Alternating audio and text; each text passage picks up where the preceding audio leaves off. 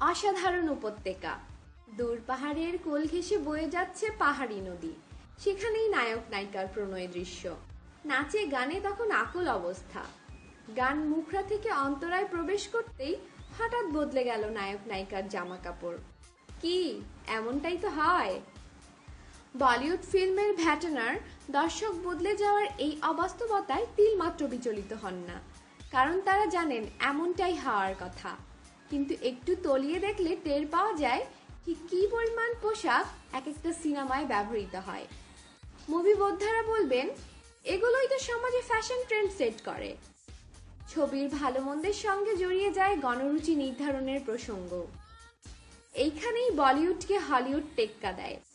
Sholay shirt, Bobby frock, Sagar skirt, এসব শব্দ অনেকেরই স্মৃতিরেখায় টান দেবে। সেই জামা কাপড় অভিনেতারা পরে অভিনয় করার পর কোথায় যায়? কি হয় এই বিপুল পরিমাণ পরিধেয়র? বলিউড বিশেষজ্ঞরা জানাচ্ছেন, ছবির শুটিং শেষ হলে প্রোডাকশন হাউস কস্টিউমগুলোকে বাক্সবন্দি করে, পরে অন্য কোনো প্রোডাকশনে তা কাজে লাগায়।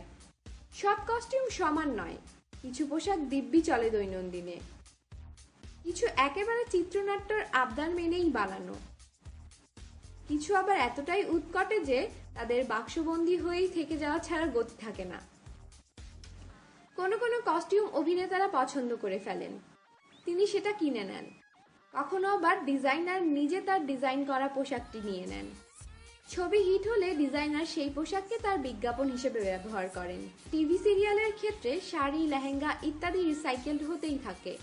সাসবাহু সিরিয়ালে বারবার ব্যবহৃত হয় একই পোশাক। আর বেশ কিছু পোশাক নিলাম হয়। সুভেনির হিসেবে তার সংগ্রহ মূল্য রয়েছে। নিলাম থেকে প্রাপ্ত আয় প্রায়শই দান করা হয়।